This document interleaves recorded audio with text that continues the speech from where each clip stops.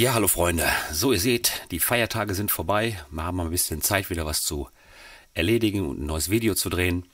Heute soll es mal darum gehen, und zwar um eine neue Expansion, die vom Nexus. Die zeige ich euch einmal kurz. Die machen wir mal hier rein. Schön, dass du dich für die Produktion von deutschen Schlager interessierst. Auf meiner Plattform www.schlagerproduzieren.de erfährst du alles, wie man einen deutschen Schlager aktuell produziert. Ich gebe dir Tipps und Tricks an die Hand, wie du deine Schlagerproduktion auf das nächste Level hebst. Alle weiteren Informationen habe ich dir in der Beschreibung verlinkt. Klicke einfach auf schlagerproduzieren.de und dort erfährst du alles rund um die Schlagerproduktion. Die 70er Expansions, die habe ich mir zugelegt letzte Woche und ich wollte euch einfach mal zeigen, was da so für Sounds drin sind.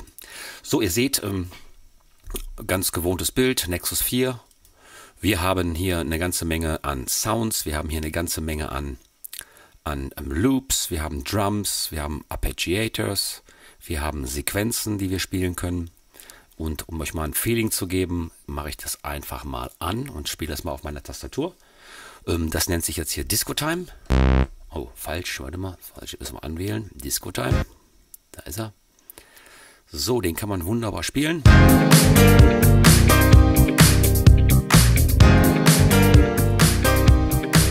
Oder hier Good Times.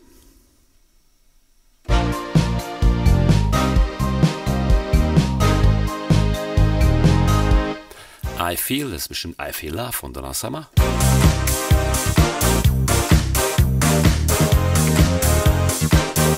Ja, wie gesagt, wunderbare Sachen. Darum ging es mir aber eigentlich so gar nicht, sondern mir ging es eigentlich mehr um diese Sachen hier, um diese Gitarren.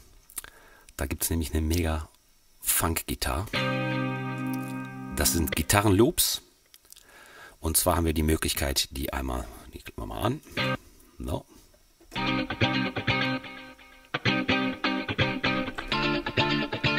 So. So, und die kann man in Major oder Minor spielen. Jetzt sind wir im Minor. Das heißt die Mollakkorde. Und dann drehen wir diesen Regler hier rum auf Major. Und dann haben wir die C, D, E. Also die kann man das ganze Spektrum spielen. Ja, auf den Oktaven sind halt verschiedene hier aufgelegt. Wir fangen mit der ersten an. Zweites C. Drittes C. Nur die Abschläge. Und einmal das letzte. Ja, Funk Loops. Kann man sich also wunderbar da zusammenbauen, die auch wunderbar für den Schlager funktionieren. Dann haben wir die Mute Guitars. Auch geil. Auch wieder Minor Major. Umdrehen. Hier kann man noch die Effekte dazu drehen. Talkbox. Oder wir können einen Chorus reinbringen. Also die klingen schon wirklich mega. Dann haben wir noch eine Jazzgitarre.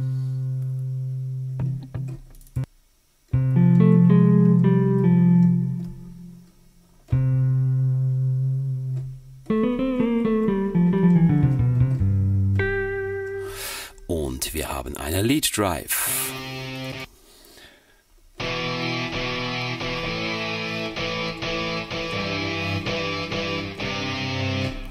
Wir haben, hier können wir auch natürlich wieder einen Filter reinbringen. Oder wir können Wawa drauflegen. Wir können ein Delay drauflegen. Aber das haben wir natürlich auch hier in diesen Bereichen vom Nexus 4, wo man das auch einstellen kann. Da sind wir also ganz frei, wie wir die Sounds bearbeiten. Dann haben wir noch einen Lead Drive. Eine Oktave höher mal. Naja, die ist jetzt nicht ganz so berauschend, aber die anderen Sachen sind schon ganz gut. Mute Gitarre. Auch geil. Wawa raus. Bisschen Bob Marley Feeling und dann nochmal eine Mute Gitarre. Ihr habt ja in meinen Videos gesehen, Mute Guitars setze ich ganz viel ein. Da allerdings am liebsten die vom ähm, Avenger. Ähm, die kann man aber auch eigentlich hier ganz wunderbar benutzen. Eine Softgitarre haben wir noch.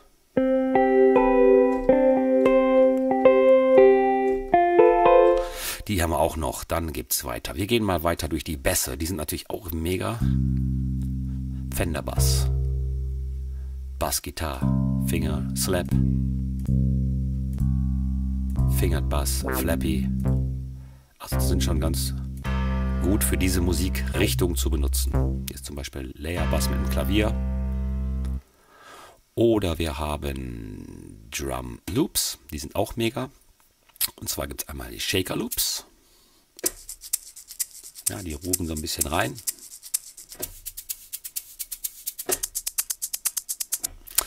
Dann gibt es nochmal Tambourin Loops, die sind auch gut. Also alles, was so einer richtigen 70er Disco Party gehört. Nochmal Stretch, die ganze Sache. Hier können wir nochmal einen Hypersfilter drauflegen. Oder ein Delay. Oder ein Room. Alles, was das Herz begehrt. Oder ein Phaser. Auch ganz wichtig in diesen ganzen Sachen. Dann gibt es weiter mit Leads.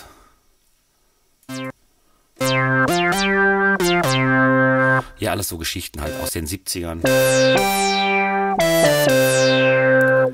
Dann haben wir Pianos.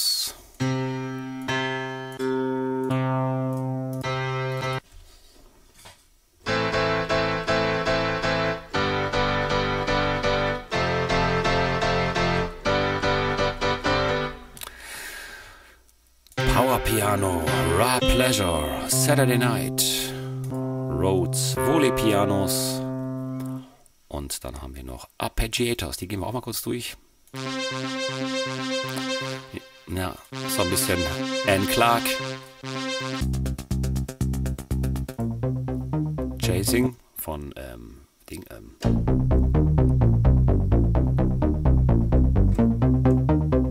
Ja, läuft nicht ganz so wie der Original, aber den kann man ja zum Glück ähm, mit dem Arpeggiator hier wunderbar umändern.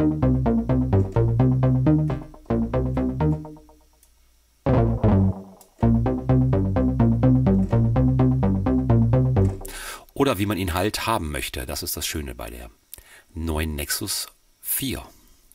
So, wir machen weiter mit Droid, Golden Hours, Gold Rush,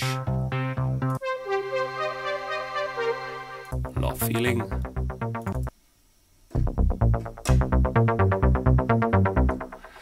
Phaedra. Naja, jedenfalls sehr schöne Frequenzen, die man auch in jeden Schlager so ein bisschen mit reinbringen kann. So, Woodwinds haben wir. Wir haben die berühmten Disco Strings. Die haben wir hier.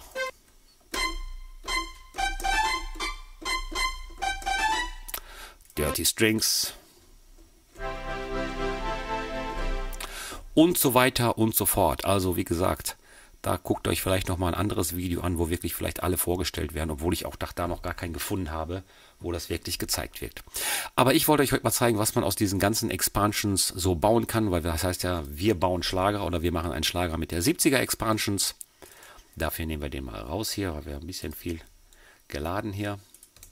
So, das heißt, es geht einmal um das Lied, was ich, vielleicht erkennt ihr es ja sofort, das haben wir alles daraus gebaut. Ich zeige euch mal kurz, wie mal, welche Sound ich da gebaut habe, welche ich da benutzt habe von der 70er Expansions. Wir hören mal rein. So, die Disco-Kugel habe ich schon aufgebaut da hinten.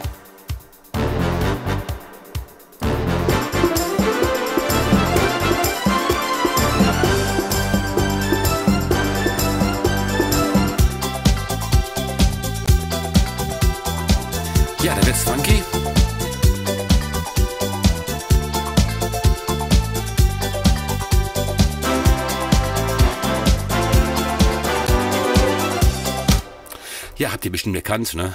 Ist altbekannter Titel von Marianne Rosenberg. Ich bin wie du.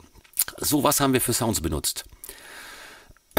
Einmal habe ich das, ähm, das MIDI-File, einfach das Drum, den, die Drums genommen, habe die einfach durch einen ähm, JV 1080 gejagt, dass ich einfach so ein bisschen so einen Hauptgroove habe. Mal rein. Dazu kommt dann, dann habe ich so einen Disco Shuffle genommen hier. Das ist ein ganz normaler, einfach nur ein Loop, den habe ich nur schnell reingezogen hier. Disco House Drums, ja, 125er Loop. Der treibt die Sache noch ein bisschen an mit, den, mal mit dem ähm, JV80 Kit. So, die Shaker mal dabei.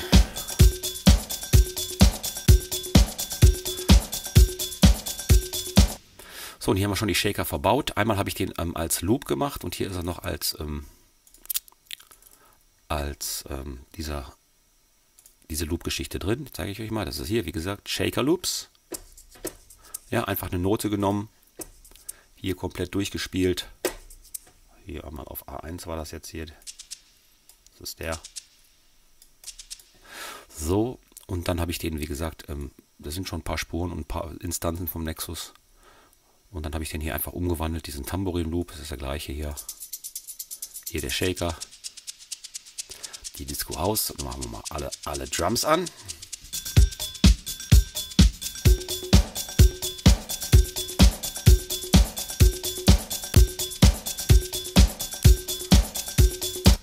So, das sind die Drums, weil ich habe die extra von einem Loop genommen, weil ich die hier nicht so umstellen konnte. Ich zeige euch das nochmal noch kurz in einer Instanz vom Nexus. Die habt ihr natürlich auch, nur ich hatte die jetzt von der MIDI-File-Belegung nicht so, wie ich die hier brauche. Und das war mir jetzt auf die Schnelle zu viel Arbeit, die einfach zu sortieren. So, hier haben wir einfach mal Drums. All Drums. Äh, Quatsch, wir müssen hier in die Expansions gehen. Da ist 70er Drums, Disco Drums. Und zwar sind das die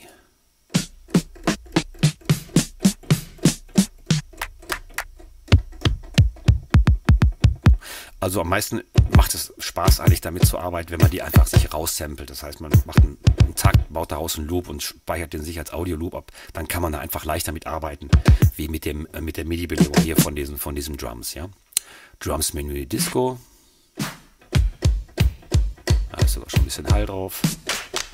Also alles, was das Herz da begebt, auch die berühmten Cinetoms, ja, alles da. So, deswegen das war mir aber in dem kleinen Video jetzt hier zu viel Arbeit, das da rauszuarbeiten. Deswegen habe ich einfach einen fertigen Disco-House-Loop genommen, der am besten passt. So, wir haben den Bass. Der Bass spielt hier. Der Bass ist. Das ist der Bass Guitar Amt aus dieser Serie Sound of the 70s. Bass, Bass Guitar Amt. Können auch immer wechseln hier. Bass. Vielleicht hört er sich ja besser an.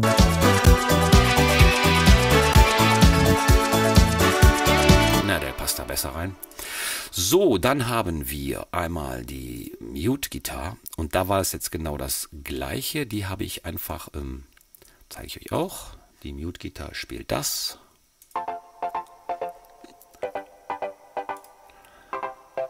So, das ist hier die Gitarre Muted Funk. Die spielt einfach diese dieses Muster hier, was das MIDI-File vorgibt. So, und da ich die Akkorde nicht genau hier rausgehört habe aus diesem, ähm, aus diesem MIDI-File, habe ich jetzt auch nicht diese Funk genommen, die ich praktisch ähm, euch gerade gezeigt habe, sondern ich habe da die Funk genommen aus dem Avenger Pack 80s ähm, Sound, äh, Italo Disco 1 oder 2. Und das ist für mich einfach, die ist einfach noch geiler. Und zusammen mal.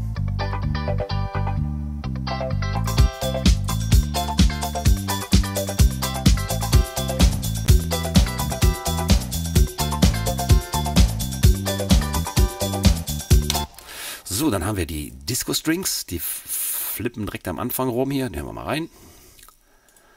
Das sind die.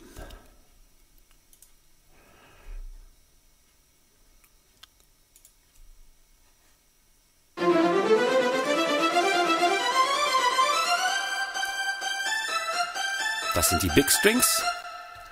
Und dann haben wir noch die Disco Strings, die sind in diesem, auf dieser, diesem, dieser Spur. Genau, das sind die. Das sind diese hohen.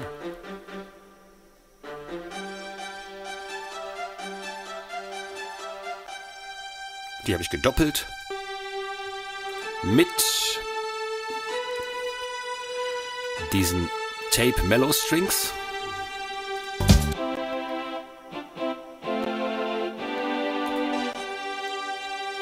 Gedoppelt mit den Tape Mellow Strings. So, dann kommen wir einmal zu den Horns.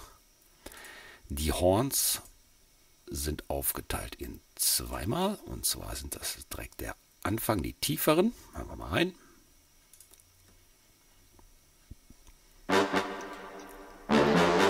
Also die klingen ganz gut.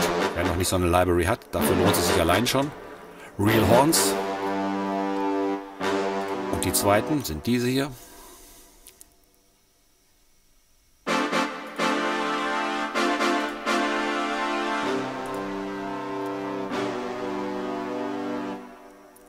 Das sind auch die Horns 2.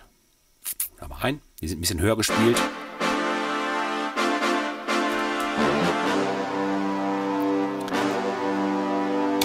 Gut, die hätte man jetzt vielleicht noch eine Oktave höher spielen können hier, aber das war im MIDI-Fall so vorgegeben, dann hätten sie sich vielleicht noch ein bisschen, bisschen ähm, originaler angehört. So, und zusammen machen die Horns dieses. Machen wir mal hier hinten, wo ein bisschen mehr passiert.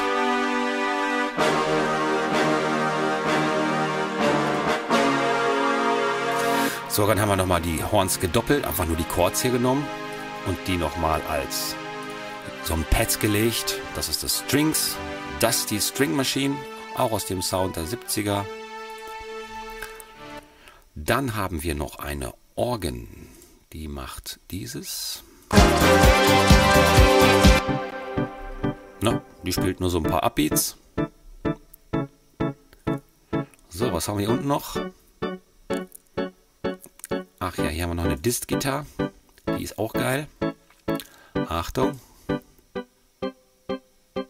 Achtung, die ist auch gut.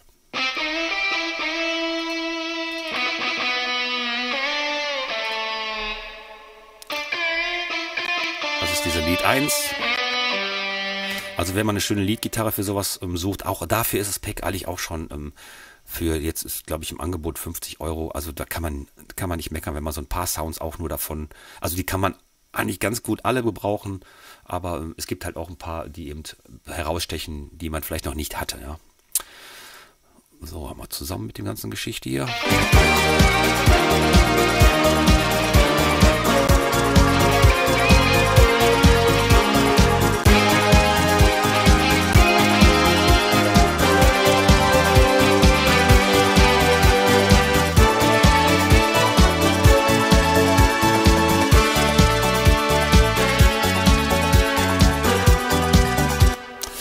und so weiter und so fort. Ihr seht also, dass man also, wenn man wirklich, man braucht nicht immer ähm, 1000 Sounds oder 1000 Soundbänke, sondern wenn man da einfach mal sich eine aussucht, wo einem so man sagen kann, die kann man gut verarbeiten und diese, diese kann man wirklich gut im Schlagerbereich verarbeiten, dann lege ich euch das ruhig mal zu.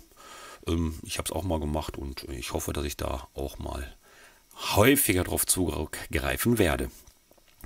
Ja, wie gesagt, an einem Beispiel kann man das immer am besten sehen, was man dann auch wirklich damit so veranstalten kann mit der ganzen Geschichte.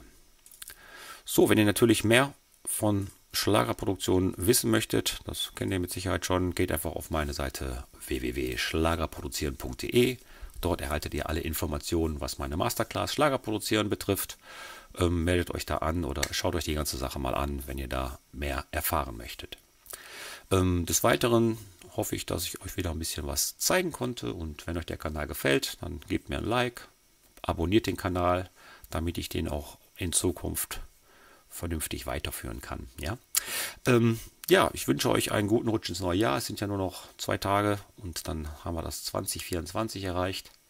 Ähm, bleibt alle gesund und dann sehen wir uns munter und fröhlich im Januar wieder mit dem nächsten Video. Und zwar wird es heißen, weiß ich noch nicht, ich schaue mal, was mir da einfällt. Ich sage ciao, ciao, euer Olli, bis demnächst.